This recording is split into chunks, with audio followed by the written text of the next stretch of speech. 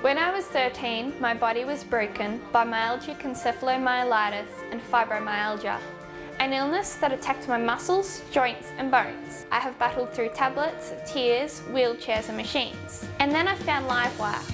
Livewire is an online community for young people just like me. Livewire has given me wonderful friends to talk and laugh with. I no longer felt alone. Do your part in connecting isolated young Australians living with an illness or disability by supporting Livewire.